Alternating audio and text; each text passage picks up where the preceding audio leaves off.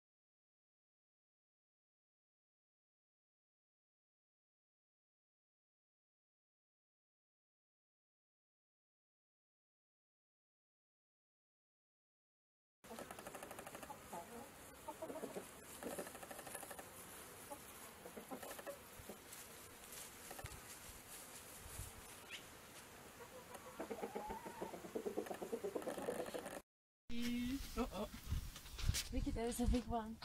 Vicky, I think he's coming here. He smell us. oh my god! Smelling us. Hey! Can we help here? I think this one is a male. It's so big. Why didn't you say hi?